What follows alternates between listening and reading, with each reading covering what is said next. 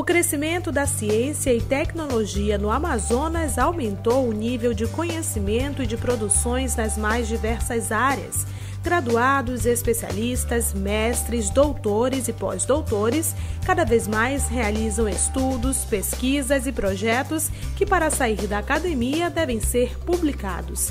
Desde 2009, a Fundação de Amparo à Pesquisa do Estado do Amazonas, FAPEAM, incentiva esta prática e desenvolve o Programa de Apoio à Divulgação Científica, o BIBLOS, fomentando as mais diversas publicações do meio científico no Estado. Ela tem como principal objetivo apoiar a publicação de livros, manuais, números especiais de revistas e coletâneas científicas nas seguintes é, suportes: a impressa, papel, mas também mídia eletrônica e digital principalmente aquelas obras que tenham como produto ou resultado, ou tenham sido resultado de pesquisa científica conduzida por profissional, financiado pela FAPEAM ou ainda por uma agência de fomento nacional ou internacional. O primeiro edital do Biblos foi lançado com mais de 110 mil reais de investimentos.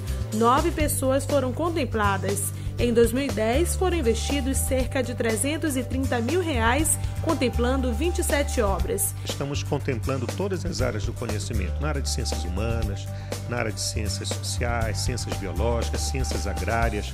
Nós temos publicações que vão desde a parte léxica, por exemplo, até biotecnologia. Uma das contempladas foi Maria Francisca Simas Teixeira com a obra Fungos da Amazônia, uma riqueza inexplorada, aplicações biotecnológicas.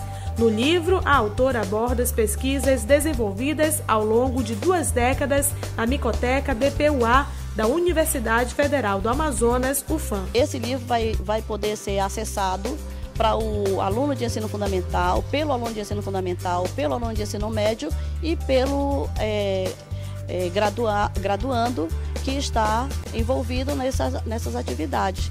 Vai ser também benéfico para ser utilizado pelos alunos, pelos professores de ensino fundamental ensino médio. Né?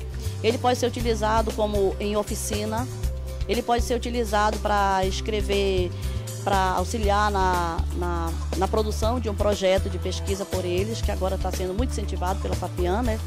E eles podem utilizar dessa forma. E o edital 2011 do Biblos já está aberto para execução em 2012, com investimentos na ordem de 450 mil reais. Então encerra essa semana né, o, o, o período para submissão da proposta. A nossa intenção é que nós estejamos então divulgando os resultados em junho de tal maneira que em julho e no mais tardar em agosto desse ano as obras então os proponentes aqueles aprovados estejam recebendo em conta os seus 15 mil reais para poder simplesmente ser publicado.